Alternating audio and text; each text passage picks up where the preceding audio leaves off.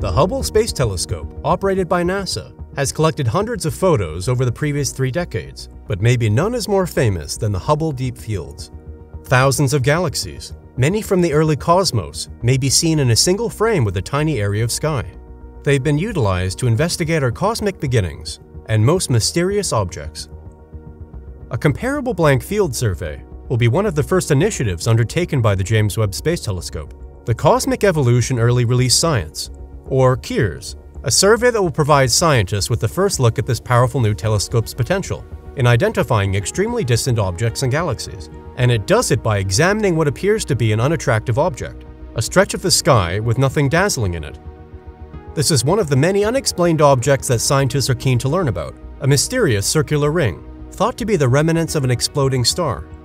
Astronomers use the term a rogue supernova to describe this enormous ring-shaped phenomenon that is close to our neighbor galaxy. It has the designation J0624-6948 and is situated in the Milky Way galaxy, known as the Large Magellanic Cloud.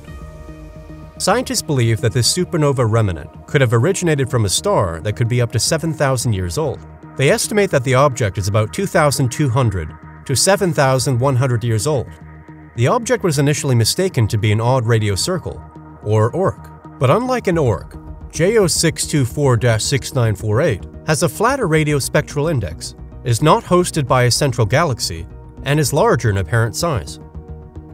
However, researchers are considering several possibilities. Professor Miroslav Filipovic of Western Sydney's University School of Science served as the project's principal investigator stated that the most plausible explanation is that the object is an intergalactic supernova remnant due to an unexploded star that resided in the Large Magellanic Cloud outskirts that had undergone a single degenerate Type 1a supernova, which involves the explosion of two stars orbiting each other.